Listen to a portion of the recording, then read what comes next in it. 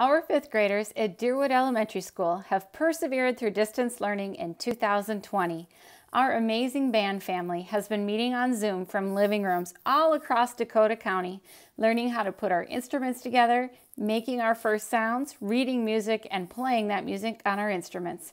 For the first time this year, we also learned about making recordings while listening to soundtracks to match our sounds together. We are proud to present our first virtual performance of Let's Go Band.